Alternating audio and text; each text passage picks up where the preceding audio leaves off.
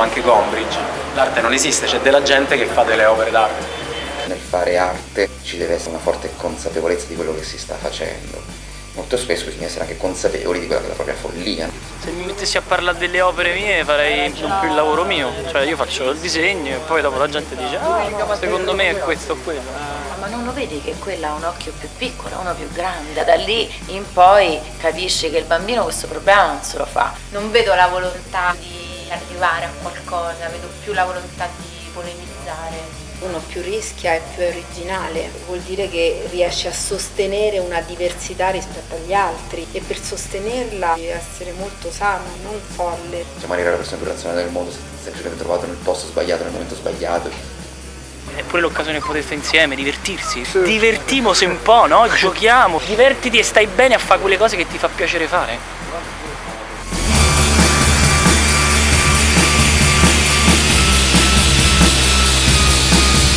Tutto ciò che non produce denaro viene vista come un costo sociale o una perdita di tempo. Penso che sulla Luna ci dovremmo andare in tanti.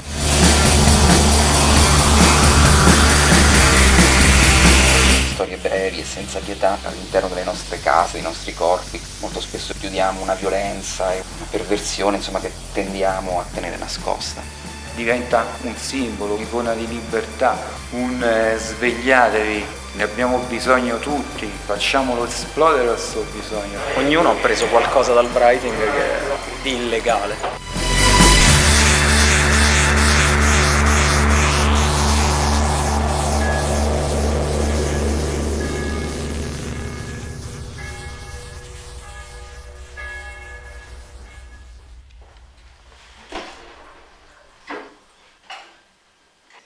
tisana stamattina dopo la serata di ieri.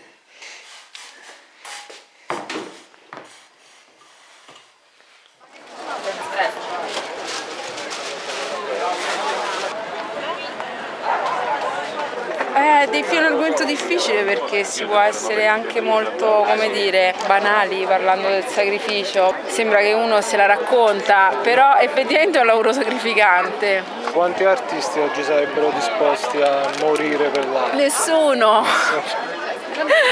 Fortunatamente viviamo in un'epoca in cui non si richiedono sacrifici di questo tipo. Fortunatamente. Fortunatamente. L'arte ha questo valore di esprimere la libertà, pensare fuori dall'ordine costituito delle cose, di non assoggettarsi ai luoghi comuni. Sto con la patata mezza alla piazza, che è successo? Funziona, grazie. Se c'è qualche problema c'è assistenza, io mando a mia social a te, magari via per sempre. Eh, che brutta fina, che brutta fina.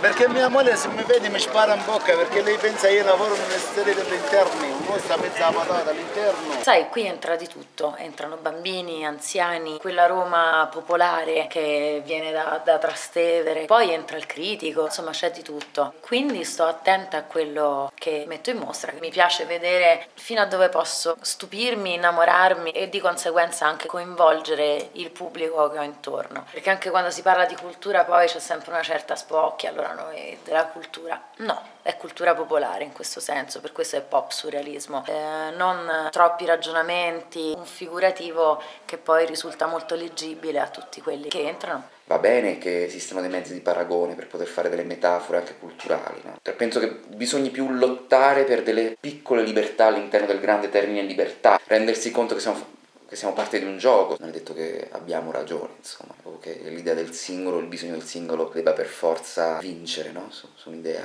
comunitaria. Mi piace molto più pensare chi lotta per un bene comune o per una libertà comune piuttosto che per la propria idea.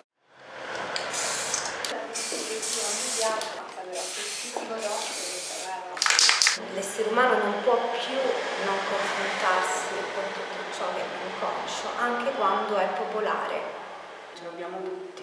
Tutto il popolo possiede questo l'inconscio. L'arte nasce con l'essere umano, la nostra voglia di esprimerci sul mondo, di cambiarlo. Il talento potremmo averlo tutti se la maestra da bambini non ci dà un voto al disegno. Tutti nasciamo con il linguaggio del visivo, no? del ricreare qualcosa a livello di visivo. Purtroppo sul figurativo si fermano le maestre, la nostra educazione, che dice non somiglia a una casa, quindi prendi 4. Non hai una voce bella, quindi ti do 4 al tuo tono di voce. e il bambino non parla più tutta la vita. A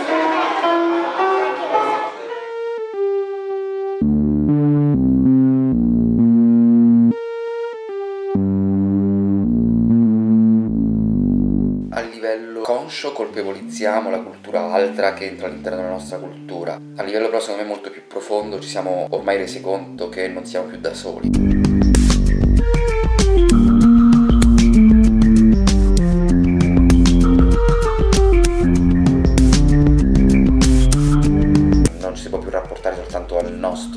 Nostro immaginario, al nostro intelletto, ma fare arte diventa anche un rapportarsi con dei sistemi economici, con una politica, con un altro che subisce no, le angherie della storia, le angherie dell'economia.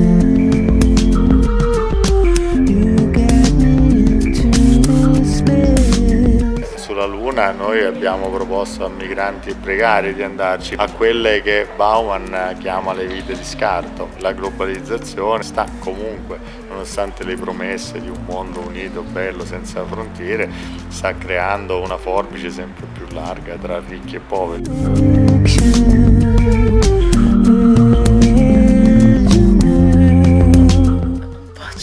Per essere sognatori, però bisogna capirla molto bene la realtà per trascenderla.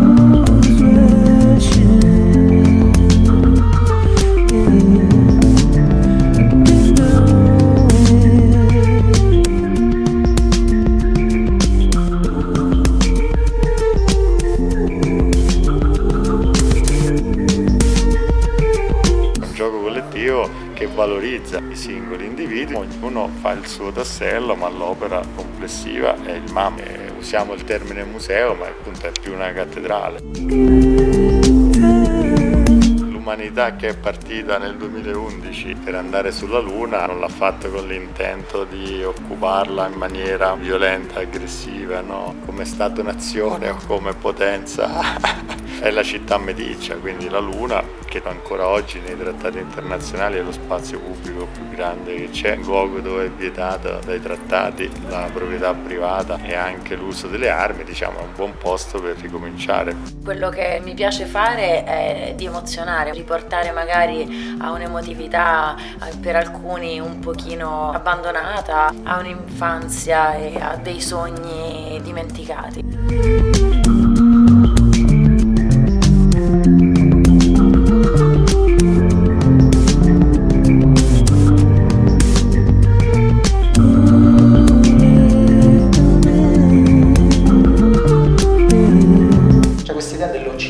Si deve tutelare da quello che poi è il mondo che invece ha sempre sfruttato come materie prime. Questo è l'oggi che personalmente ho relazionato alla leggenda del diluvio universale che è nella Bibbia, ma è nel Gilgamesh, è ancora prima nei Sumeri.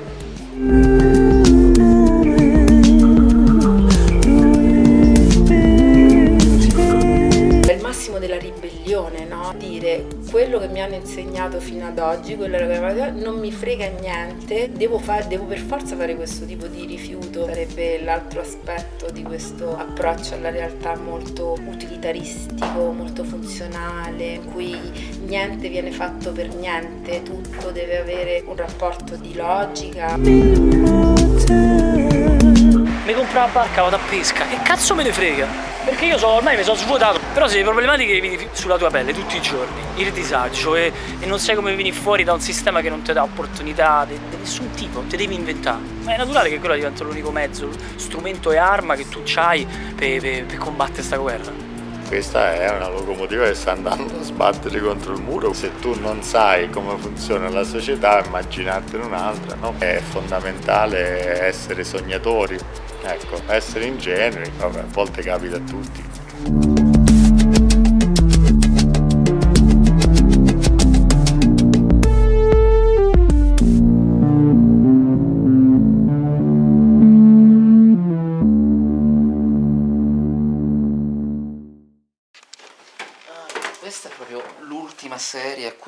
Lavorando su San Francisco l'Assiso, una sorta di autoritratto insomma di me che mi spoglio non solo dei vestiti ma anche una serie di costruzioni, di identità, fino appunto a rimanere nulla insomma, un pisellino e una gamba. Qui è una dimensione che tende a proteggerti, fuori devi un po' più lottare però puoi anche arrivare senza lottare. E mi sono sempre trovato molto accolto. Sì, all'interno della grande città, quindi non so, prendere i mezzi pubblici, fare la fila, guardare con sospetto che ti sta di fianco, no? Perché sembra sempre che vuole fregarti. Però poi negli ambienti che frequento, con gli ambienti anche artistici, insomma non ci vedo tutta questa, perlomeno nei miei confronti, tutta questa competizione, anzi, cioè, sono immaceratezza alla porta che nessuno si augura a Roma. cercavo di saltare e di tirar fuori la mano perché così sapevo che mi, mi potevano vedere solo così. Tu con la mano eh, cerchi l'aria, eh, vai a, a caccia dell'aria. Ci piaceva questa idea che fosse qualcosa di consumato dall'acqua.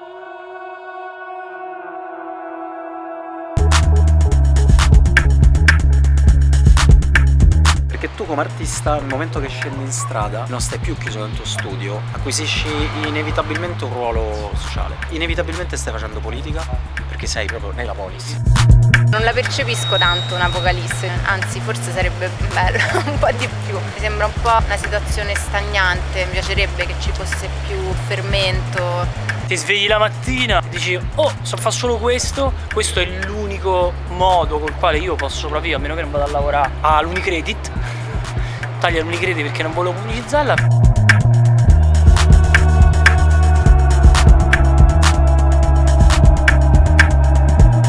o lavori per un sistema che è già creato e quindi ti devi rimettere e sottomettere a un sistema gerarchico tu devi dire sì padrone, sì padrone oppure cioè ti inventi, ti prodighi stai a casa come un alieno chiuso una settimana vita sociale zero stai al computer, pensi, leggi, ti informi, studi, evolvi e porti avanti nuove cose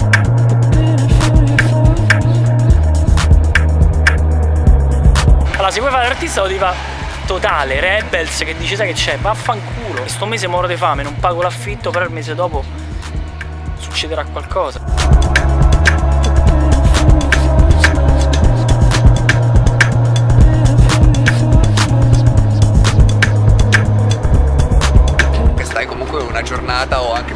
Giorni per strada. Ti ricordo che Luca Maleonte mi ha detto guarda c'è sto pacco, devo andare alla posta, ma se sto qui a fare il murale se non ci posso andare io e allora ci sono andato io, posto la scala, aiuto la polizia tra virgolette del cantiere come lo chiama Sergione, quindi cerchiamo di tenere insomma in ordine la zona dove lavorano gli artisti tu puoi far parlare di te realizzando delle opere o puoi far parlare di te rovinandole. Solo è che rovinandole sei nel filone di quello che è l'Italia negli ultimi 50 anni. Il muro esiste dal 2010, eh, Repubblica è venuta quando questo ha rovinato un murale.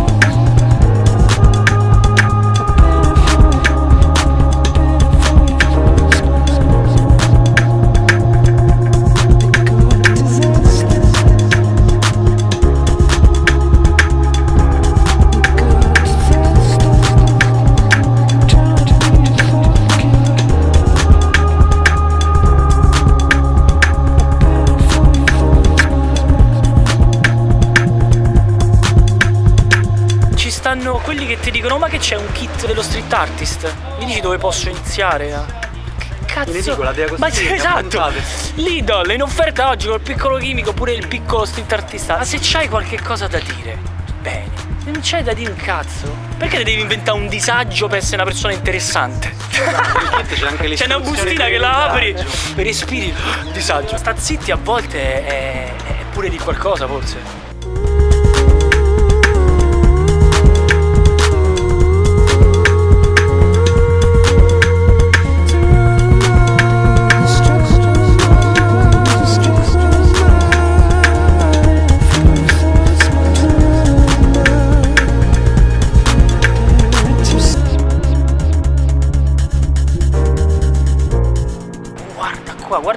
Cosa si può riuscire a fare.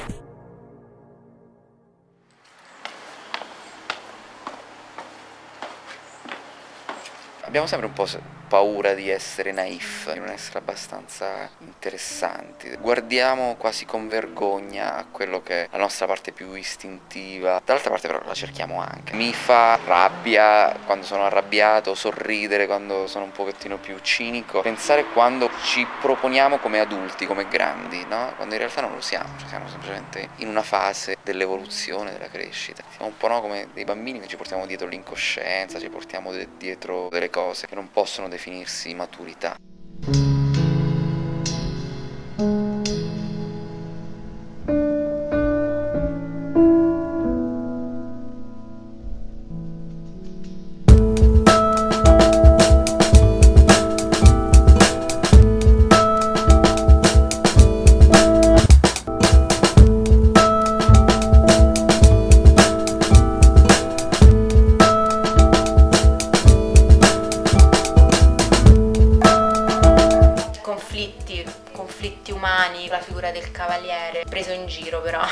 Piace ironizzare su questa necessità sempre di guerreggiare che c'è stata pomposamente. Mi piace non prendermi troppo sul serio e penso che i personaggi che creo non si prendano troppo sul serio.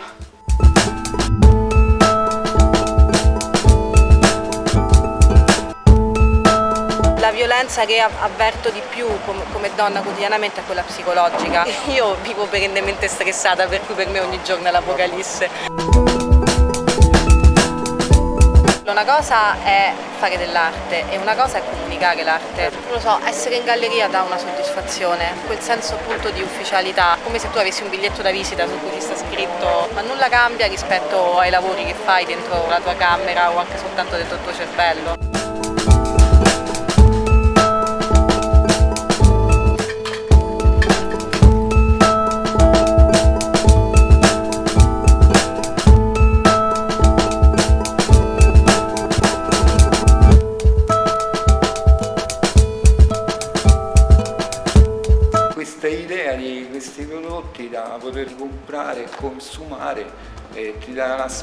Di cultura.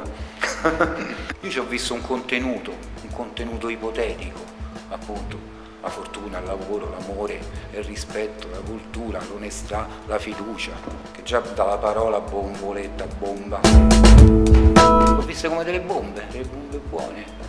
Fa scoppiare una bomba, ho scritto lavoro, contiene il lavoro, fai scoppiare una bomba del genere alla periferia di Roma, e scoppia questa, tutti quanti occupati. Favoloso, bellissimo.